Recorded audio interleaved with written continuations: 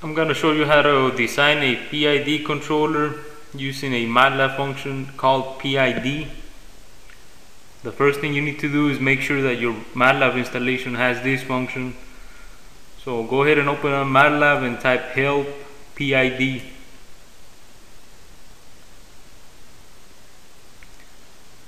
If you get this uh, explanation for the function, that means your installation does have this function. So now we can go ahead and begin with the uh, program to design the PID controller. So go ahead and open up a new script by going to File, New Script.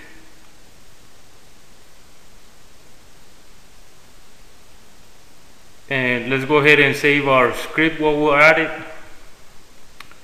So File, Save As, name it whatever you want. I'm going to name mine PID design. So let's go ahead and begin by clearing our variables, clearing the screen. And uh, let's make a symbolic constant. Now before we actually begin to design our PID controller, we need to have a uh, plant which we want to control. And they, they usually use the name G for the plant. So the plant that I want to control is G G equals 1 over S squared plus 3S plus 1. So I haven't made my function yet, but this is the uh, plant function for which I'm designing my controller.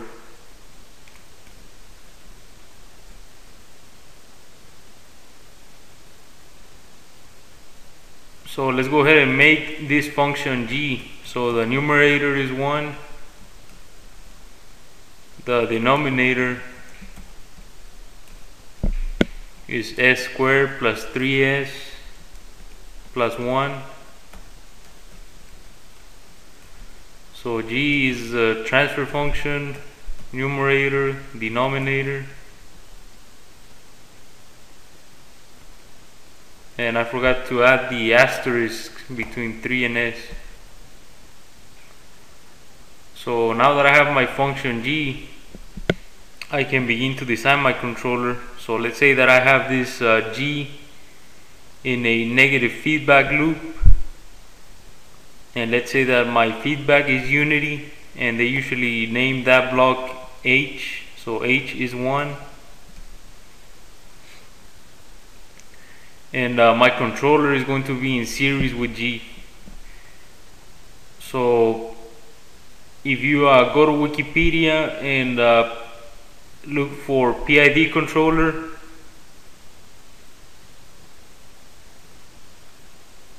you're gonna see that what we have is three uh, variables KP, KI, and KD. So I'm gonna go ahead and make those variables in MATLAB and uh, this plant block here in this picture is my G and my H would be here. So that's uh, unity feedback and of course like I said it's negative. So let's go ahead and uh, make uh, a variable for each of these K's KP, KI, KD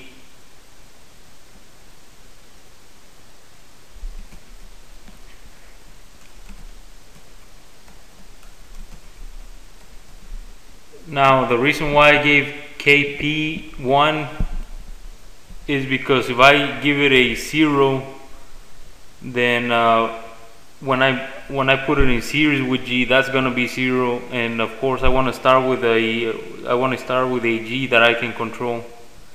So always start off with a KP equal to 1 and that just means that that's that's like not having a controller at all. It's not until we change the value of KP that we start to see the effects of the, uh, the proportional part of the controller.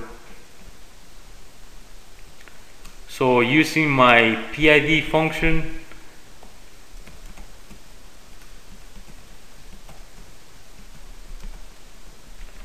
I have just made my controller transfer function so you always give it KP first, Ki and Kd last.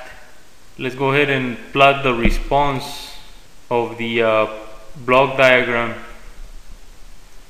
So actually before I do that let's uh, let's go ahead and reduce the block diagram. So my transfer function which I'm gonna call T is gonna be the feedback of C in series with G with a feedback with a feedback H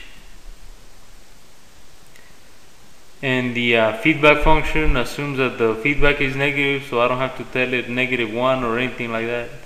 So now that I have my transfer function I can go ahead and plot the response so once you have this code go ahead and run it to see how the response looks without a controller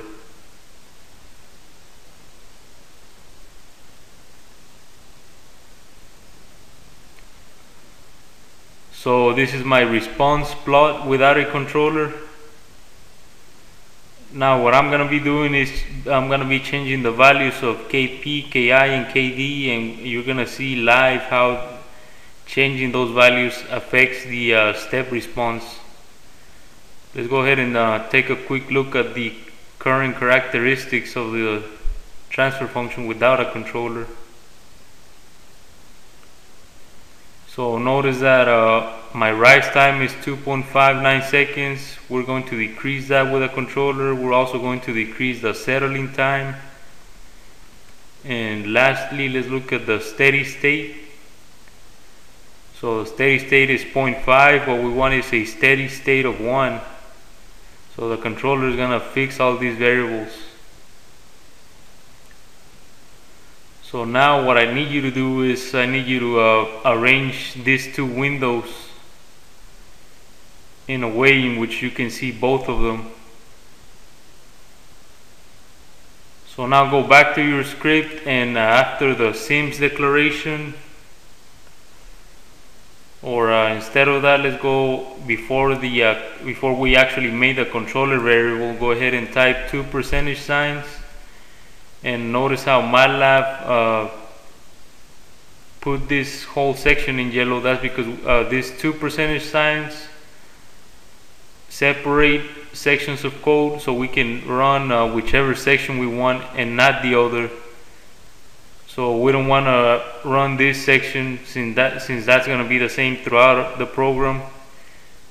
Uh, the only thing that's going to change are these variables and of course that's going to change the controller and the transfer function and the response. So that's why I separated this section from this one using these two percentage signs. So now what you want to do is you want to go ahead and highlight the one that we gave to KP and you want to go to this uh, this uh, this plus sign at the top and go ahead and uh, just click keep uh, clicking it and take a look at how the response is changing. So we're changing it by one at a time. Let's go ahead and change it by 10 at a time so we can speed up the process. And what you want to do is you just want to get a nice oscillation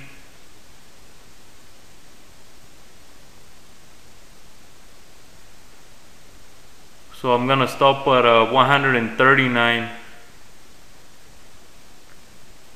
The next thing you want to do is you want to go ahead and uh, go to now let's do KD uh, so it's always done in that order do K, KP first and do KD and we're going to increment KD until we get a damped response Oh, let's go ahead and increment that one by 5 starting. So notice how my response is uh, being damped by KD.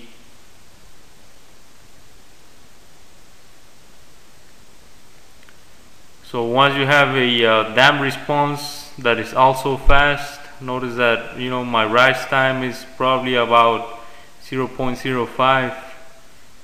You want to stop there and now let's go to KI and go ahead and increment that until we fix the steady state error. Because if you notice here our steady state is currently 0.993 let's try to make that be 1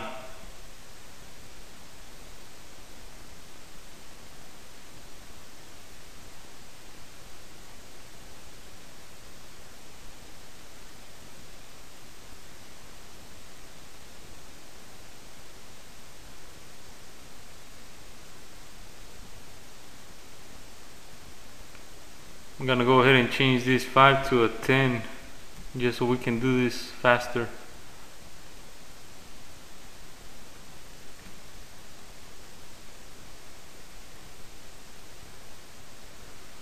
So my final value is now 1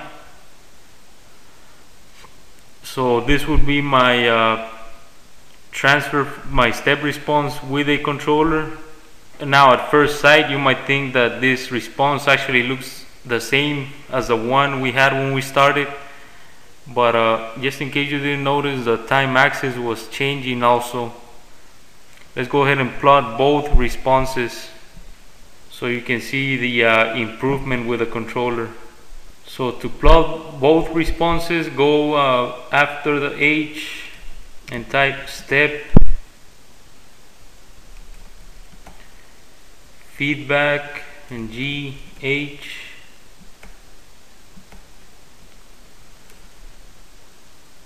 so this is going to be our uh, transfer function without a controller. And now type hold on. So go ahead and run the whole code by clicking this, bu this button. So the blue line is my step response without a controller. The green line is my step response with this controller so you can see that there was a uh, great improvement in the settling times, rise times, and of course the uh, steady state value. Now uh, what you want is to see what the controller function was. So you just go to your MATLAB command window and type C and press enter you're gonna get that function. So let's go ahead and do that. So C enter. So this is my controller function and these are the uh, variables or the values I use for each of these cases so how you can design a PID controller using MATLAB and the PID function